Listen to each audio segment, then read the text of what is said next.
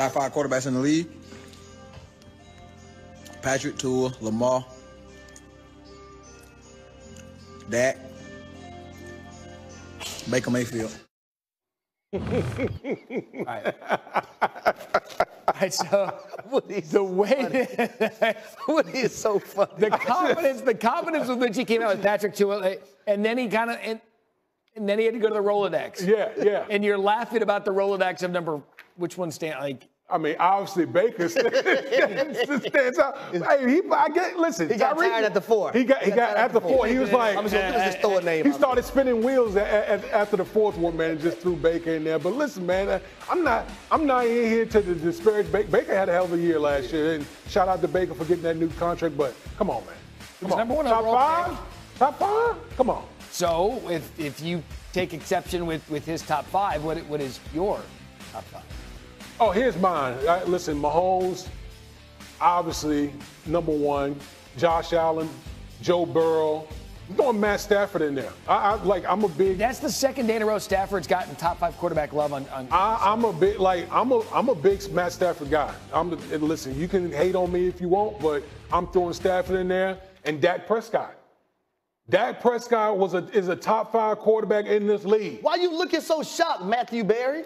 Look, I'm, I'm just taking it all in because I, I see a quarterback that's, that's very turnover prone in Josh Allen, who's, but he's a top flight player.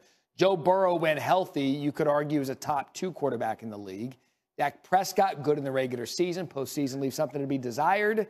Matthew Stafford's got the Super Bowl ring. He's look. I'm just you. Good, give me your list. Not that I was go, shocked. I'm gonna go with Patrick Mahomes. I'm going Lamar Jackson. I'm gonna go with Joe Burrow, Josh Allen, and Dak Prescott. You didn't have Lamar Jackson. I did not. I did not. He's And right, out, like right I outside. I was gonna get him. Woody, how do you not have Lamar Jackson on this list? How do I not have Lamar Jackson? Because I think that playing the quarterback position from within the pocket, that's where the game is won. I think that he's outside of my top five from that metric alone, just playing the quarterback position from within the pocket. I think those those guys that, that I had in my top five, I would take those guys. I mean, I can't argue with that. He, I mean, he got definitely got better last season. It was something that was a glaring need that he needed to work on, and he got better.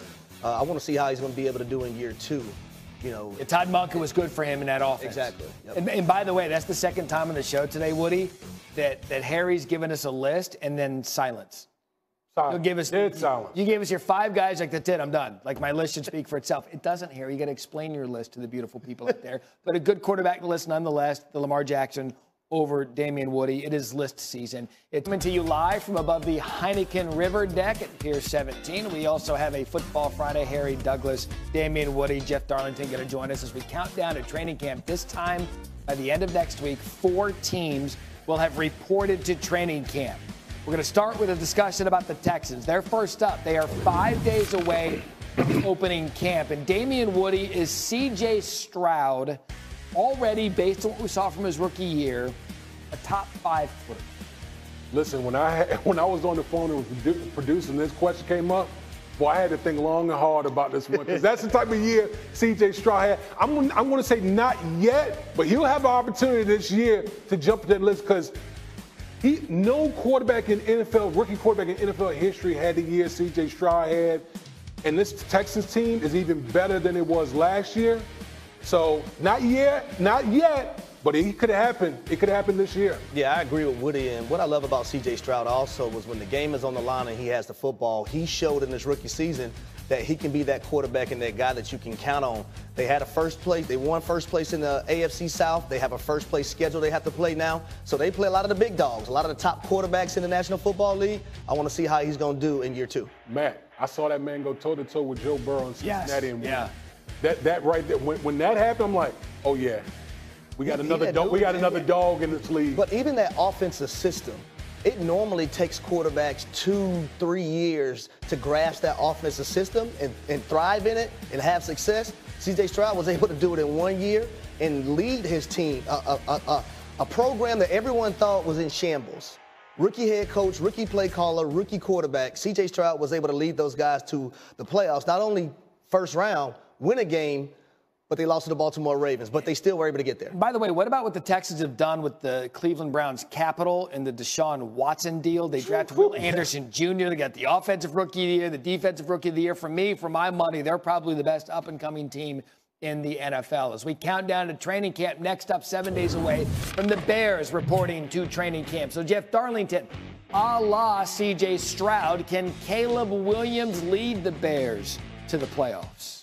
Well, Look, Caleb Williams is certainly in a great situation, one that most number one overall picks don't find themselves in because, quite frankly, the Bears didn't quote unquote earn that number one overall pick. They acquired it, so they weren't bad enough to have him coming in. This feels like a nice situation for Caleb Williams entering this Bears situation, but he does enter into a division with a Lions team that is surging, a Packers team that continues to develop, and a Vikings team that probably, by the way, shouldn't be counted out either. Damien? The NFC North is going to is, is tough. Outside the AFC North, this is the toughest division in football. Caleb, again, I think Jeff said it right. They weren't the number one pick but because of record, but I don't know of any organization that surrounded the number one pick the way that the Chicago Bears have done it with Caleb Williams. Mm-hmm. I think they fall just short, but they're going to give people a lot of hell this year uh, this upcoming season. A lot of, lot of talent that we they will have. never see this again. We will never see a number one overall pick go into a situation that Caleb Williams is in right now with the Chicago. That's a ready-made situation to succeed. You wonder if they'd have kept Justin Fields with all that talent around him, what would have happened, but that didn't happen. Justin Fields now. Right with the Steelers as we count down to kick our countdown to camp rather. 14 at the end of next week. The Ravens are up in eight days. Harry is Derrick Henry, the missing piece for the Ravens. I believe he is. And what's unique about Baltimore since 2018, they've been top three in rushing, but what they haven't had for Lamar Jackson is someone else that can close the deal late in games. That that's what Derrick Henry provides for the Baltimore Ravens. Lamar Jackson doesn't have doesn't have to have it all be on his shoulders. You can lean on a guy that literally led a team to an AFC Championship game by himself because he's strong, he's fast, he's physical, and he, he imposes his will. Jeff Darlington, where do you weigh in on this one? So I love the addition of Derrick Henry. I'm not discounting that. I just don't think he's the missing piece because I think the Ravens were already there. I was at that game against the Chiefs, and like, I don't think that Lamar Jackson is the type of player to look back or let things haunt him. But that game feels like a haunting situation because he was there. He had it, and it felt like the Ravens went away from what their game plan could have been to win that game and let Lamar Jackson cook with his legs.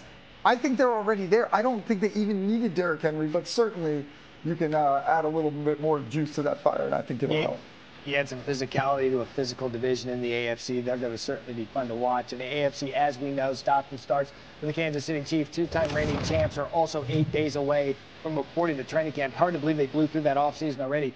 Woody, will the Chiefs be the first team ever to three-peat?